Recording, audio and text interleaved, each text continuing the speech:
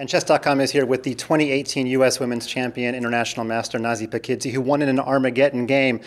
I have to ask you, that was a pretty tense playoff. Why didn't you go into the confessional booth? I didn't have time.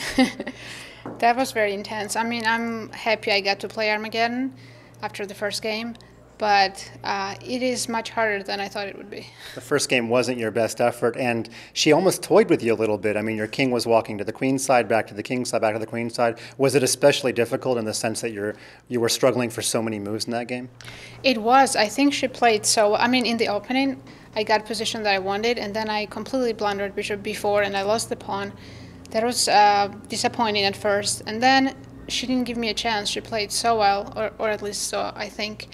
Um, she just outplayed me in every way possible, and that made me feel pretty terrible um, to lose like that. I sense you missed bishop b4. Did you also miss queen takes a7? Your reaction suggested maybe you did. No, I didn't miss it. I just thought that that was a little too risky for her, maybe, because it was giving me some chances, but turns out I didn't have any chances anyways. 15 minutes are, are uh, used between the games. What were you thinking about in those 15 minutes after the first loss? I was just trying to forget the previous game and um, calm myself and focus on the next game and uh, try to just improve um, what I did wrong in the last game. Did you have a plan going into the day in case you lost round one and in case you were white in round two? Did you go through all the different ramifications?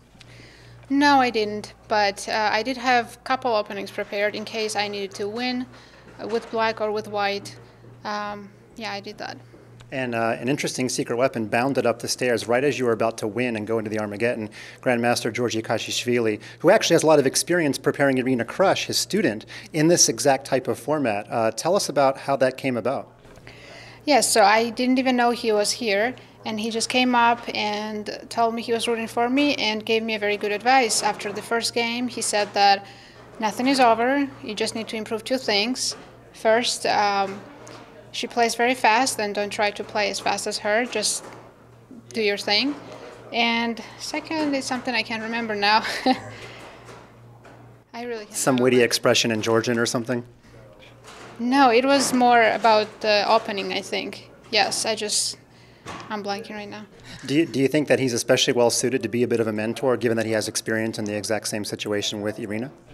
I don't know him well but he obviously did a very good job today helping me win. Uh, after my second game, he also gave me advice before the Armageddon to improve um, my opening from the first game if we were to repeat the exact same line to play knight h2, knight g4 instead of pawn g4. And that uh, just gave me a winning position. Yeah, the knight was excellently placed there. Yesterday, you told me if it went into Armageddon, you prefer black, but in the drawing of lots, you actually got white. But that turned out a little bit to your advantage because she played right back into the same opening that you got an overwhelming advantage in both games. Yes, I would have preferred black, but because of the opening, it went uh, very smoothly for me. Because I didn't spend any time and I got a huge advantage on the clock, and my position was great. A very informal poll by me was done, and pretty much everybody prefers black because they didn't think a one minute disadvantage was really that big of a handicap, especially with a two second increment. Do you feel like it should have been maybe 5 3 or maybe no increment, or what would have been an exactly balanced Armageddon time control? I mean, 5 3 is a little too much, I think, but 5 against 4 is good without increment. It's just that with increment, I feel like that uh, one minute time difference doesn't make that much of a difference. You can always uh, win a winning position if you have two second increment. What can you say overall about uh, Annie Wang's play this tournament? Well, she was incredible. She had the best tournament of her life, but I think this is not the end, obviously. She's just going to get stronger and stronger, and she has a bright future ahead of her. Well, it's not clear yet if she'll qualify for the Olympiad, but you could have tanked and lost on purpose to make sure she was your Olympiad teammate. Any thoughts about doing that? I haven't even thought about that. No, I, I would never tank a game. uh, it's a joke, of course. Would you like her on your team? Yes, of course. Um, she it's good to have a young spirit. I used to be the young one, but not anymore. Um, and the stronger the team, the better, of course. Do you have a dual role in Batumi? Do you have to be the tour guide as well? Well, I It's been a while since you live in Georgia. Yes, I haven't been to Batumi in over a decade, so no, I'll just have one role. and uh, you've been pretty unequivocal that playing these tournaments does not really inspire you to play more. But I have to ask again: Are we going to see more chess from you before uh, the Olympiad? Um, I would say probably not. Maybe one tournament somewhere. Um, the reason I don't play as much is because in the U.S. most of the tournaments have a terrible schedule with two games a day, and I don't enjoy that kind of schedule. That's why I only play the major tournaments where I get to play one game a day. Makes sense. You're $25,000 richer, but you live in Las Vegas. I mean, you could go through that in one night. Uh, tell us how you plan to spend the money. I'm gonna go to a casino and bet on black. I'm kidding, of course. Um, I'm just gonna save it. yeah, I noticed you're wearing black and white, so that was kind of a good theme for today. You didn't really care what color you got in the Armageddon, I guess. Yeah, I was wearing black and white because uh, I wanted to finish in style. Win or lose, I just wanted to finish in style. Well, speaking of style, yesterday Sam Shankland said he was wearing his lucky shirt. I know a lot of our listeners will claim I'm being a chauvinist by asking about your attire, but hey, just want to remind them I asked Sam yesterday do you have lucky shoes or any kind of lucky apparel? No, but I do have unlucky clothes that after I lose them, I never wear them again.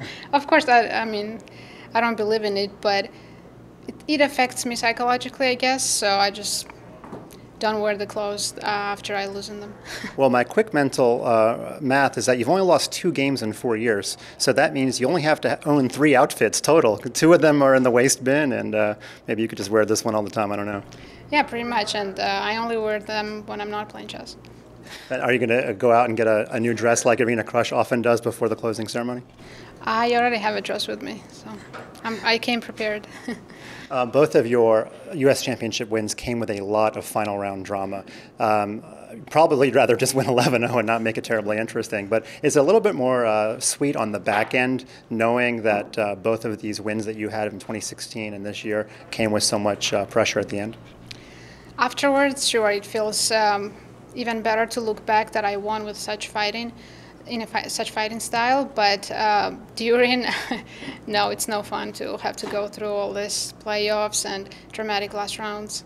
It's very stressful. You mentioned that your husband is on a plane somewhere right now. Do you think he bought internet on the plane to be able to watch this? Oh, um, absolutely. I'm, I'm sure of it. And do you think he's jumping up in his seat, or how, how would you guess his reaction? Because when he watches this, we can compare with what actually happened on that plane. Uh, he probably told everyone around him so he could share with the people next to him. Well, I hope he's in an exit row. Um, that way he's got some room to celebrate. Anyway, congratulations, Nazi Paikidze, a very worthy winner, and you created quite a show for your fans. Thank you very much.